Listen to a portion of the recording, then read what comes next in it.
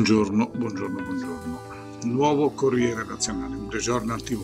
Come tutte le mattine ci viene inviato durante la notte dal collega Giuseppe Castellini che salutiamo. Maggioranza piglia tutto, Salvini, Movimento 5 Stelle, ora fibrilla, rischi manovra. L'intervista, cioè Simone Pillon, perché il DDL sull'affidamento condiviso, poi riforma pensioni tra promesse e conti reali e Antonio Maglia. E qui sotto il titolo forte Unione Europea forte iniziativa italiana riforma.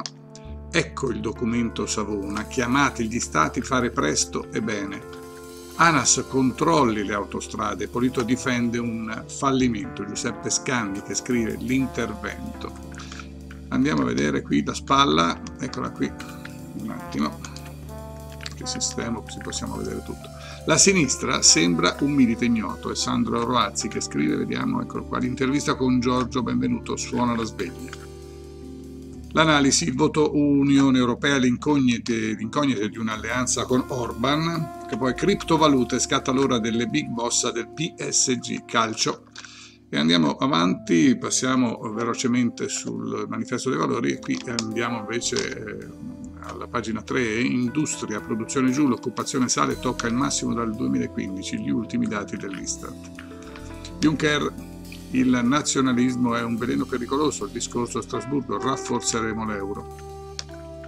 Come, lo, come vuole rafforzare l'euro Juncker?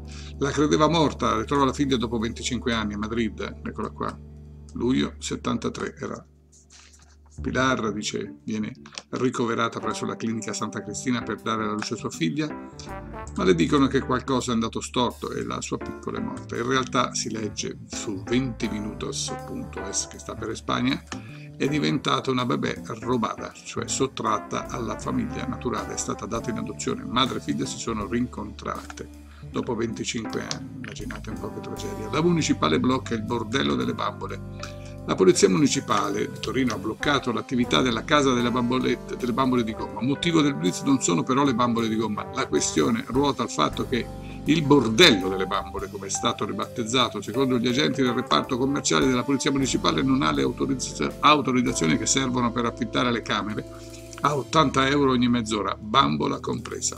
Avrete capito bene? Eh? È un bordello con le bambole.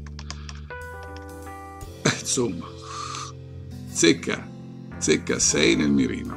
Minacce al procuratore di Agrigento. Il PM ha avviato l'inchiesta sulla nave 18 in cui è indagato Salvini. Unione, l'Italia, Unione Europea, l'Italia scatta, c'è il documento Savona. L'Italia assumerà tutte le iniziative per un gruppo di lavoro di alto livello di tutti gli Stati dell'Unione Europea. Il Ministro ha inviato un documento a Bruxelles a titolo Una politeia per un'Europa diversa, più forte, più equa. Serve una rinnovata interpretazione dei trattati e ciò va fatto prima delle elezioni europee. Eccolo qua Savona, poi la posizione italiana è che la politica economica debba essere orientata sulla crescita. La sinistra eh, sembra un mente ignoto, beh, forse avrebbero dovuto fare queste esegesi molto prima, no? Che ne dite? Abbiamo cancellato socialisti, laici, cattolici, progressisti, la sinistra oggi chi rappresenta ha ragione a dirlo, eh? sembra un milite ignoto, sia chiaro, ha ragionissima. Giorgio Benvenuto parla, scusate ma deve essere lasciato aperto il braccio. Giorgio Benvenuto parla di presidente della Fondazione Nenni, già leader della UIL e presidente della Commissione Finanze. Grave l'estraneità di rapporti con i corpi intermedi che invece con i loro limiti sono antenne della società, giustissimo, assolutamente lucida come analisi, però non sono pessimista, la sinistra di buone ragioni ne ha molte per far sentire la propria voce, su questo non sono affatto d'accordo infatti. Salvini piglia tutto, il Movimento 5 Stelle fibrilla e contrattacca sulla manovra, intanto i pentastellati si sbarcano dai leghisti nel voto sull'Ungheria Vabbè. Vabbè. Il voto Unione Europea e le incognite di un'alleanza con Orban, diritti umani, è Chiaramello che scrive, diritti umani procedura di infrazione contro l'Ungheria.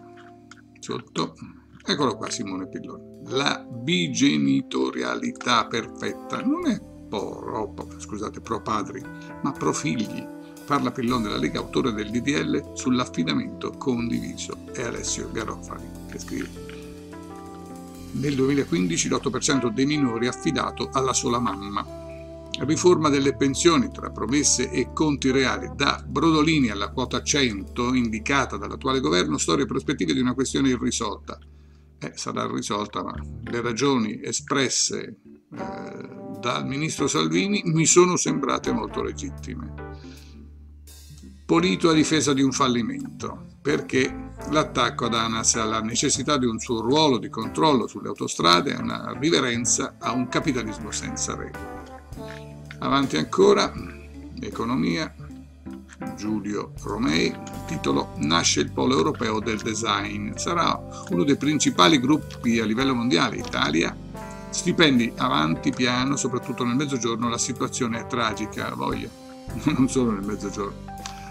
Oh, Bernacchia, la notte fashion di Milano, stasera negozi aperti, caccia al tesoro e il concerto di Annalisa. Poi moda e famiglie tagliati 500 euro di budget all'anno, l'anno e il triste primato, il 54% delle vendite in Italia è avvenuto tramite promozioni. E poi lo sport, criptovalute, scatta l'ora dei big, il PSG lancerà un token prima storica adesione da parte di un tap club e poi fisco spagnolo tocca Marcelo, eccolo qui, multa con con multa e condanna il brasiliano o Marcelo, brasiliano Marcelo ha ammesso l'evasione fiscale.